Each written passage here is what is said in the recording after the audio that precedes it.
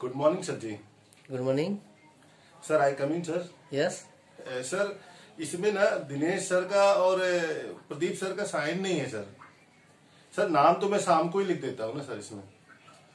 और सर वो जो कल आपने मुझे फ़ाइल नहीं दी थी प्रोजेक्ट की बोली थी कि उनको दे देना ले जाके तो सर मैंने दिया था वो बोले ड्रॉ में रख दो।